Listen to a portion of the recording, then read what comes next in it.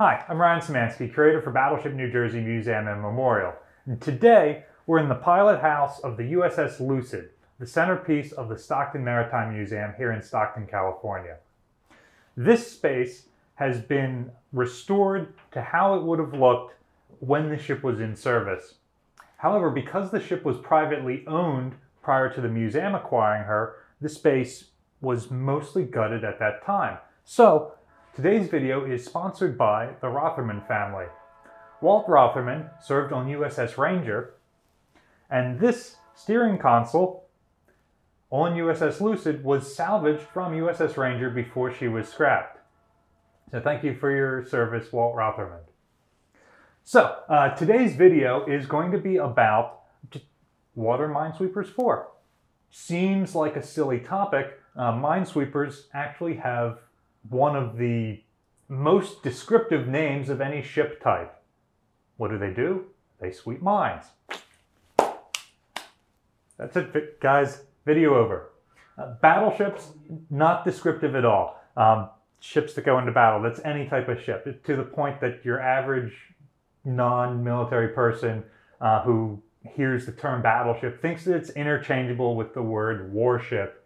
And so the number of times that I ask, oh, have you ever visited a museum ship before? Oh yeah, I visited the battleship up in uh, New York City. They're talking about the aircraft carrier Intrepid. Decidedly not a battleship.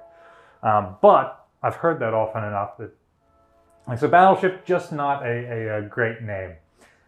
Minesweeper Really great name because it tells you exactly what the uh, ship was designed to do.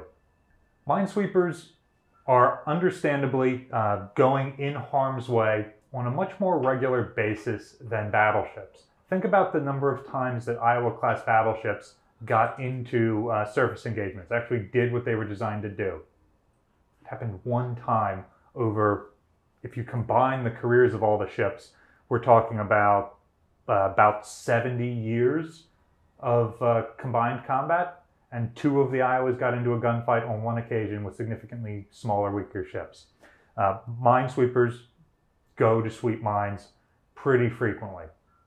Um, because of this, uh, there is a certain amount of, let's call it expendability, built into the designs of these ships. The Iowa class battleships are gold platers. Uh, they are extremely expensive and it takes a massive national investment to build and operate them. Uh, not so for a minesweeper. Lucid displaces about 600 tons, so between a third and a quarter of the weight of a single gun turret. She's got about 70 crew. An Iowa class battleship gun turret needs 80 crew. So a significantly smaller investment than a battleship. Because of that, in peacetime, uh, the Navy tends not to build or operate many minesweepers. They keep battleships around because it takes four years to build a battleship. By the time you start building a battleship at the beginning of a war, uh, the war will be over before the battleship is completed. The Navy doesn't keep a lot of minesweepers on hand, knowing that if we get into a war, we can build these and train a crew for it comparatively quickly uh, because of that expendability and the size. Um, but when we build them, we're building them in big batches. So for example, Lucid is one of 101 uh, MSO class minesweepers. Of the MSOs, 65 were retained by the United States and 36 were given to our allies. Uh, interestingly, in Allied service, ships like this tended to see more frontline service, whereas in American service, they are part of a larger fleet where they focus more on their specific jobs as opposed to doing all of the patrolling and other work. And that doesn't mean that ships like this didn't. So for example, during the Vietnam War, uh, Lucid, already over a decade old by the time she deployed there, was used to patrol the Mekong Delta and uh, engage and inspect uh, training ships and sampans and, and uh, supply ships in that part of the world just to make sure that it wasn't Viet Cong moving materials up into the Mekong Delta. They also spent a lot of their time sweeping mines, making sure the North Vietnamese hadn't mined the major American uh, and, Viet- and South Vietnamese bases. The saying that minesweeper sailors often use is where the fleet goes, we've already been. And that's true. Battleship New Jersey does not go to operate in a restricted waterway unless minesweepers have already swept that area. Capital ships like New Jersey and even smaller intermediate sized ships like destroyers and cruisers are too expensive to send into uh, these restricted waterways unless you can ensure that a reasonable number of the mines have been swept and removed and there's a clear channel for these ships to operate within. Despite the critical job that minesweepers do, like I said earlier, their, their value in the peacetime Navy isn't that great. The US was operating 65 of these. They only built 16 of the follow up MCM class, uh, of which only a handful are still in service in places like the Persian Gulf.